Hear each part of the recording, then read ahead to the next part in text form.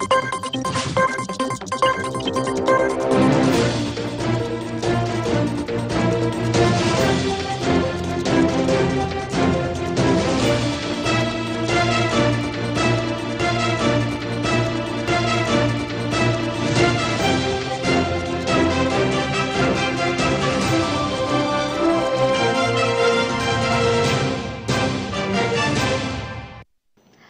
ආයිබෝවන් සැමට කලින් සත්‍ය ප්‍රථමයෙන් ගෙනෙන්න අදත් අපි සූදානම්.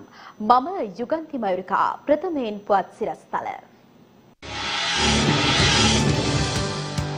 සූක්ෂම මත්පෙති ජාවාරමක තොරතුරු හෙළිවේ. මිලියන විසි අටක් වටිනා මත්පෙති සමග සැකකරුවන් දෙදෙනෙක් අත්අඩංගුවට. හෙරොයින් තොගයක් සමග මදුෂ්කී සමීපතමෙකුත් පොලිස් භාරයට. දිවයිනේ සියලු පාසල්වල ශ්‍රේණි තුනක අධ්‍යයන කටයුතු හෙට සිට ඇරඹේ. මහමැතිවරණයේ ප්‍රථම නිල ඡන්ද ප්‍රතිඵලය හයවනදා පස්වරු හතරට පෙර. කෘෂිකර්මාන්තය නගා සිටුවීමට අගමැතිගෙන් නව සැලසුම්. සැවුම දිනන යුගයක් බිහි කරනවා සජිත්ගෙන් ප්‍රතිඥා. වත්මන් රජය දූෂිතීන් රකින බවට බිමල්ගෙන් චෝදනා. අමරිකාවට චන්ද සුලිගුණාටුවකින් දැඩි බලපෑම්. දැන් දේශීය පුවත්. එළඹෙන මහමැතිවරණයේ පළමු නිල ඡන්ද ප්‍රතිඵලය අගෝස්තු මාස 6 වන දින පස්වරු 4ට පෙර ලබා දීමට අපේක්ෂා කරන බව මැතිවරණ කොමිෂන් සභාවේ සභාපති මහින්ද දේශප්‍රිය මහතා පවසනවා. එය අද රාජගිරියේදී මාධ්‍ය වෙත අදහස් දක්වමින් මේ අතර මහමැතිවරණයට අදාළ නිල ඡන්ද දැන්වීම් පත්‍රිකා බෙදා හැරීමේ විශේෂ දිනයක් ලෙස අද දිනය ප්‍රකාශයට පත් කර තිබෙනවා.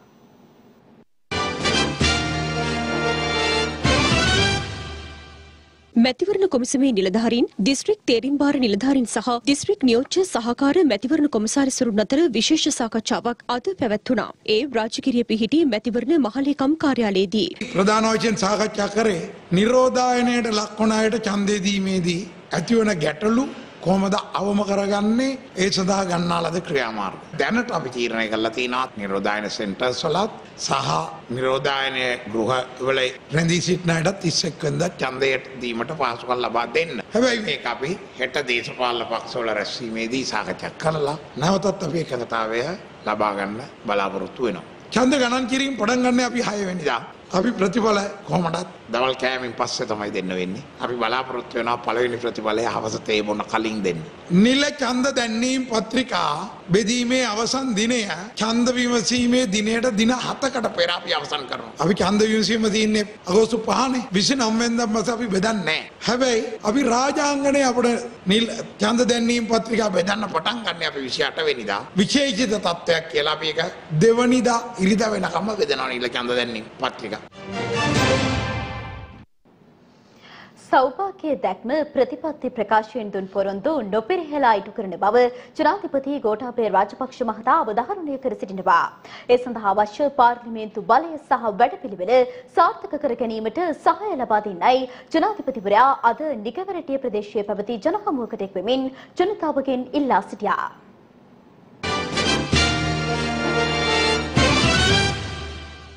පොදුජන පෙරමුණෙන් මහමැතිවරණයට තරඟපදින අපේක්ෂකයන්ගේ ජය තහවුරු කිරීමට අද කුරුණෑගල දිස්ත්‍රික්කයේ චාරිකාවක නිරත ජනාධිපති ගෝඨාභය රාජපක්ෂ ජනහමුවට සහභාගී වුණා.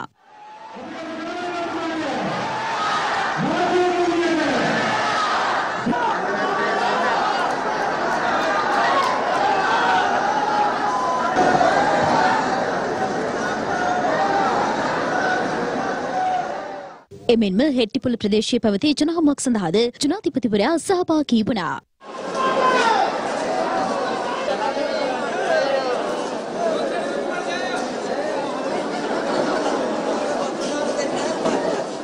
මහව ප්‍රදේශයේ පැවති ජනහමුවේදීද ජනාධිපතිවරයාට හිමි වුණේ උණුසුම් පිළිගැනීමක්.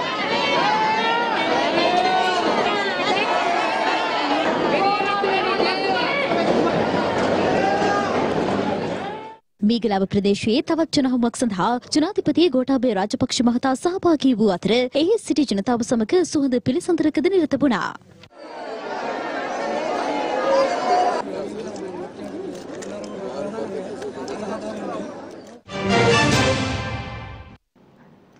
මෙරට කෘෂිකර්මාන්තය නංවාලීමට කටයුතු කරන බව අග්‍රාමාත්‍ය මහින්ද රාජපක්ෂ මහතා පවසනවා. ඒ නුවරඑළිය ප්‍රදේශයේ පැවති ජනහමුවකට එක්වෙමින්.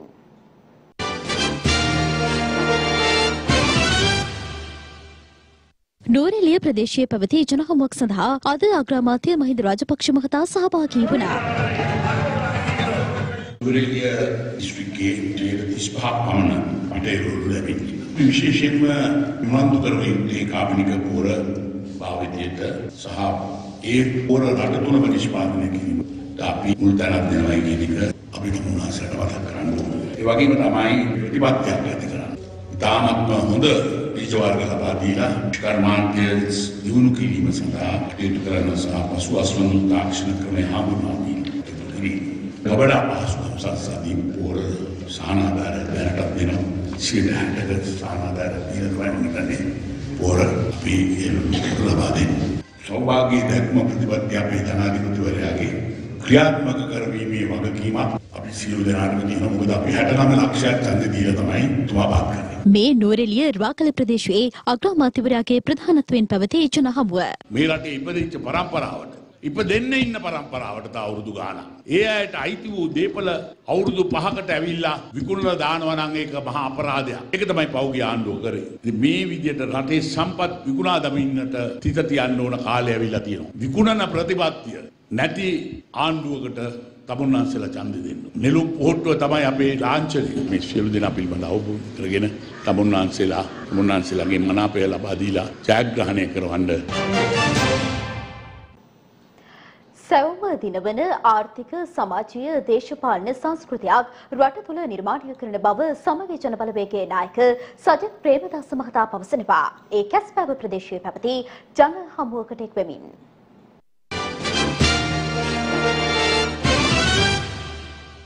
සමගී ජනබලවේගයෙන් මෙවර මහමැතිවරණයට තරඟවදින අපේක්ෂකයින්ගේ ජය තහවුරු කිරීම වෙනුවෙන් පැවැත්වෙන ජනහමු මාලාවේ තවත් ජනහමුවක් අද පෙරවරුවේ කැස්පෑව ප්‍රදේශයේදී පැවැත්වුණා. ඒ සමගී ජනබලවේගයේ නායක සජිත් ප්‍රේමදාස මහතාගේ ප්‍රධානත්වයෙන්. රටේ තිබෙන සුපුරුදු දේශපාලන සංස්කෘතිය තමයි කොටසක් දිනුම් කොටසක් පරාද. ඒ ක්‍රමය තමයි බොහෝ දුරට නිදහසෙන් පස්සේ අපේ රටේ ක්‍රියාත්මක වුණේ.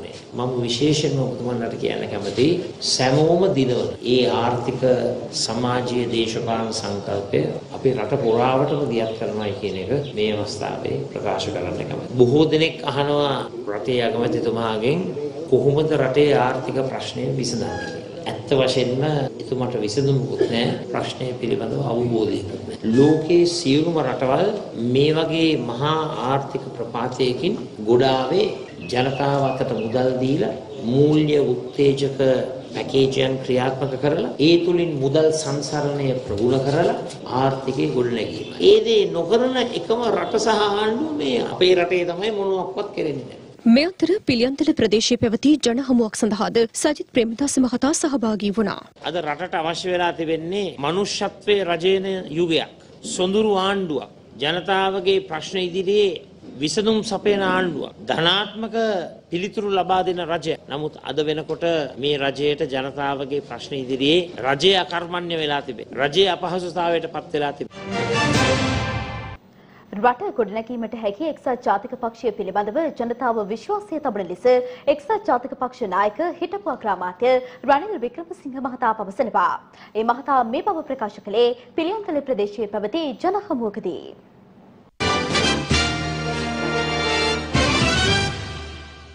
පළමුවෙන් ආර්ථිකය හදන්නේ. මේ ආර්ථිකය නිකන් හැදෙන්නේ නැහැ. මේ අවුරුද්දේ ලෝකේ ආර්ථිකය ඔක්කොම පල්ලෙහාට ගිහින්. කොහොමද ගොඩ එන්නේ? දැන් රටවල් කරන්නේ මේ මේ අවුරුද්දේ බර ආණ්ඩුව අරගන්නවා. දැන් අපි වාගේ රටවලට මේ බර අරගන්න බැරි නම් කියලා තියෙනවා IMF එකට අපිට උදව් කරන්න කියලා. ඉතින් අපේ වටේ තියෙන රටවල් ආධාර උපකාර අරන් තියෙනවා. අපිට හම්බෙලා නැහැ. මේ ප්‍රතිපත්ති වැරදි. දැන් 2018 දී මේ රටේ පළවෙනිවත් ප්‍රාථමික ආයේ අතිරික්තයක් තිබුණා. ණය ගෙවන එක හැර අනික ඔක්කොම අපිට ගෙවන්න තිබුණා. එහෙම ගියද්දි ණය ගෙවන තත්ත්වයක් අපිට ඇති වෙන්න තිබුණා. ඔය ගිහින් 2030 වෙනකල්දී ණය ගෙවලා දාන්නයි බැලුවේ. දැන් එහෙම එකක් නැහැ. අපේ ආදායම අපිම අඩු කරගත්තා. ඉතින් මම බැලුවේ ඉස්සෙල්ලම අපේ ප්‍රතිපත්ති ගැන විශ්වාසයක් තියෙන. ඒ නිසා ඒ ප්‍රතිපත්ති ගැන විශ්වාසයක් තියෙන නිසා තමයි විශේෂයෙන්ම අර ඩොලර් මිලියන 6000 අපි හොයාගන්නේ. එතනින් තමයි මේ බර ඇදගෙන යන්නේ. මේ හැම එකක්ම එක සැරේ සිදු වෙන්නේ නැහැ. සංචාරක ව්‍යාපාරේ මේ අවුරුද්දේ එන්නේ නැහැ. ස්පාඤ්ඤය පටන් ගත්තා. දැන් ස්පාඤ්ඤයේ කොරෝනා හැදිලා ආපහු අහලා තමන් විගහට රටවල ආපහු යනවා. මේ අවුරුද්දේ නැහැ. එහෙනම් ආණ්ඩුව මැදිහත් වෙලා ආධාර උපකාර කරන්න. වත්මන් රජය දූෂිතයන් ආරක්ෂා කිරීමට කටයුතු කරන බවට ජාතික ජනබලවේගයේ ජාතික ලැස්තු අපේක්ෂක බිමල් රත්නායක මහතා චෝදනා කර සිටිනවා. යද කොළඹ පැවති මාධ්‍ය හමුවකදී.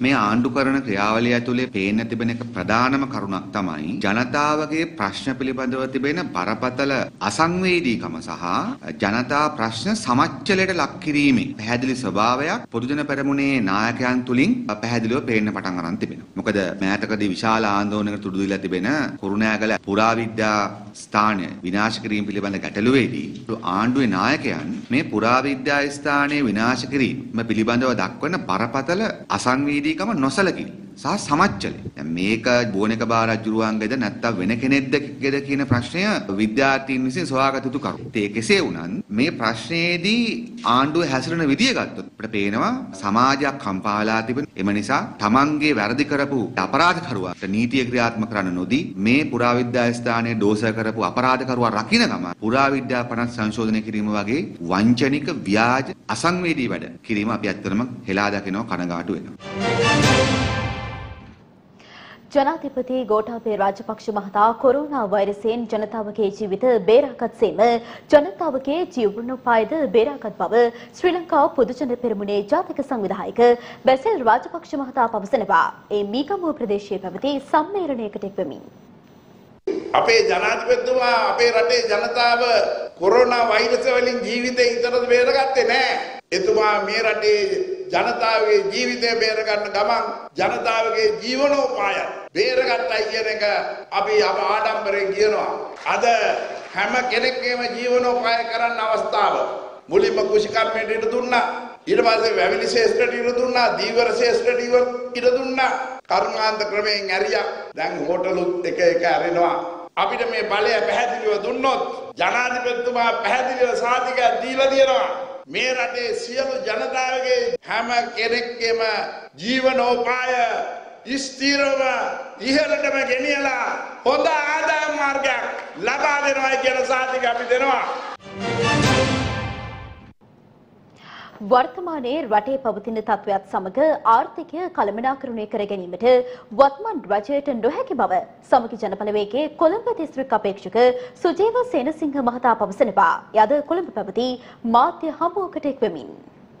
මේ වෙනකොට මම හිතන්නේ ආණ්ඩුවට විශේෂයෙන්ම ජනාධිපතිවරයාට රටේ ආර්ථික කළමනාකරණය ඒ වගේම අනෙකුත් දෑ සම්බන්ධයෙන් ප්‍රශ්න ගණනාවක් මතුවලා තිනවා. ඒ වගේම මේ ප්‍රශ්න වලට පිළිතුරු නම් ලැබෙන පාටක් පේන්නේ නැහැ. ජනතාව එන්න එන්නම දරිද්‍රතාවයෙන් තාමත් අමාරු ජීවිත ගත කරන පිරිසක් බවට පත් වෙලා ඒ වගේම පාලන මිල පාලනය කරගන්න බැරි ජනාධිපතිවරයා. එතකොට මේ තියෙන තත්ත්වය බැලුවාම ඔබතුමාට තේරෙනවා මේ කොරෝනා තත්ත්වය කොච්චර බරපතලද කියලා. කොරෝනා නැත්තම් එහෙමනම් අනිවාර්යයෙන්ම දළදා පෙරහැර පවත්ව ගන්න මේ මැතිවරණය පවත්වන්න හොඳයි. මේ රටේ තියෙන වාතාවරණය සෞඛ්‍ය වාතාවරණය. දළදා පෙරහැරට ඒ සෞඛ්‍ය වාතාවරණය නුසුසුයි සම්පූර්ණයෙන්. ඒතර මොකද්ද මේ දෙබිඩි පිළිවෙත? දැන් මේ ආණ්ඩුවේ MCC ගිවිසුම මේ දුන්න පොරොන්දු ඔක්කොම ආපහු කරනවා. MCC ගිවිසුම අත්සන් කරන එක අත්සන් කරනවා. මම ඕන අභියෝගයක් ඉදිරිපත් කරනවා. දේශපාලන වේදිකාවේ පළමු අදහස් කිහිපයක් වෙතයි දැන් අවධානය.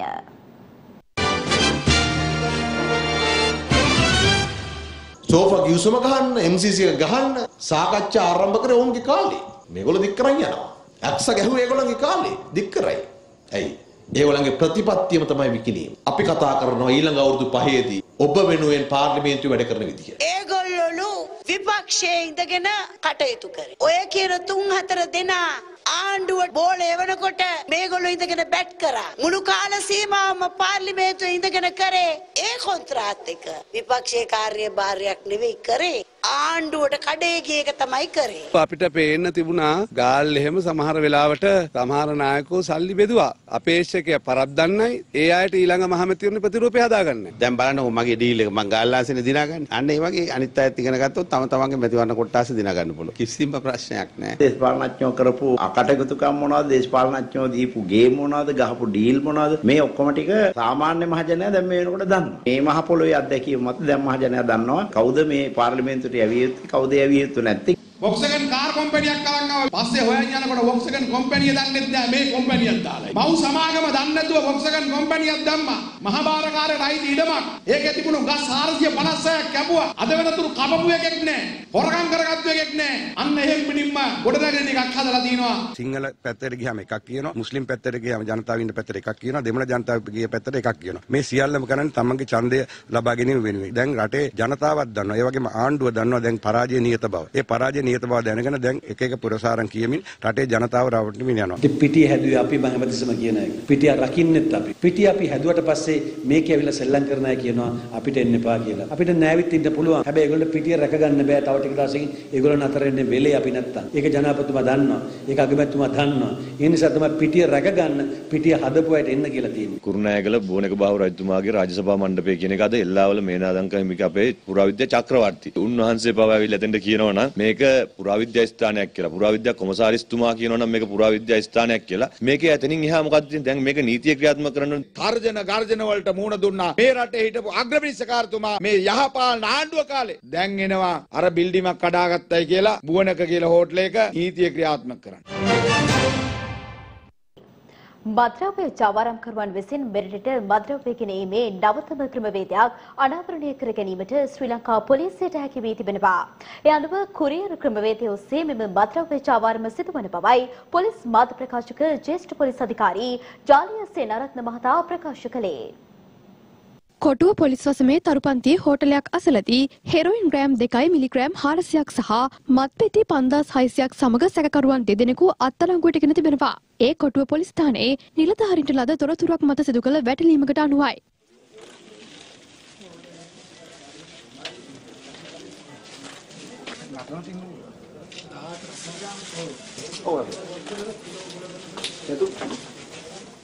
මෙම මත්පැති තොගේ කුරියර් සේවයක් හරහා දිවයිනට ගෙන්වා ඇති බවට අනාවරණය වී ඇති බවයි පොලිස් මාධ්‍ය ප්‍රකාශක ජ්‍යෙෂ්ඨ පොලිස් අධිකාරී ජාලිය සේනාරත්න මහතා සඳහන් කළේ.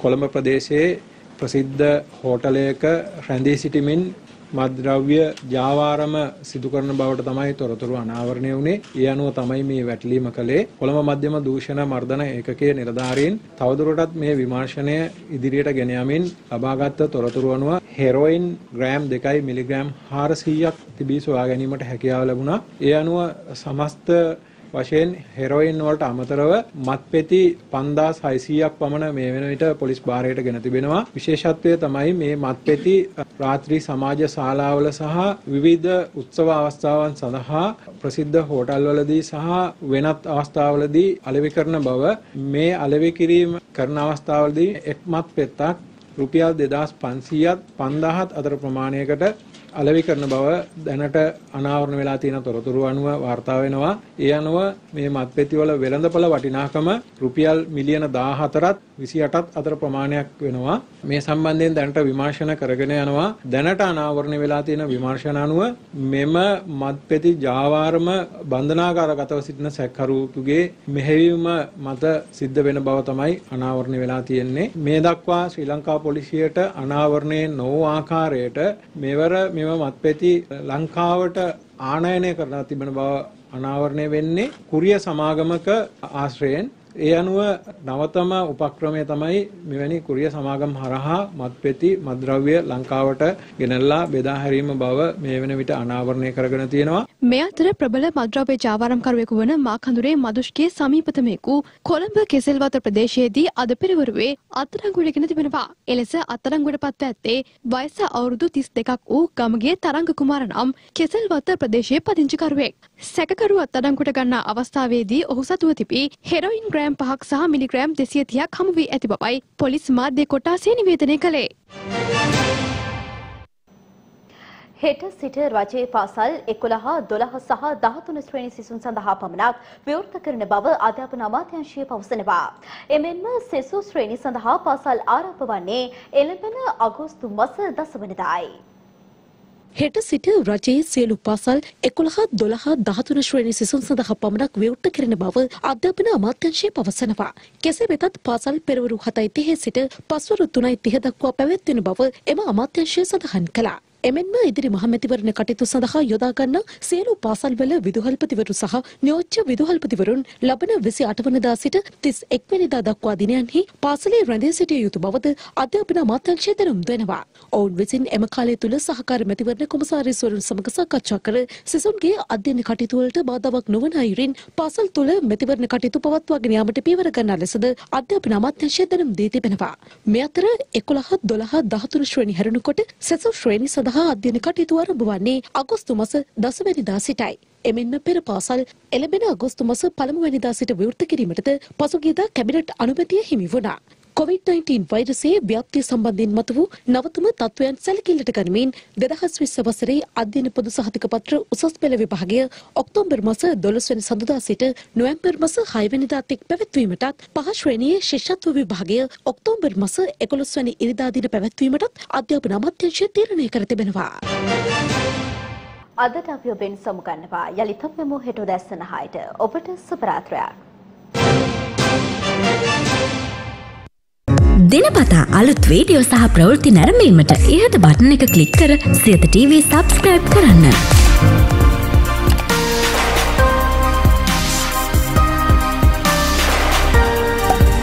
අලුත් වීඩියෝ ගැන මුලින්ම දැනගන්න මෙම සීනුව ක්ලික් කරන්න.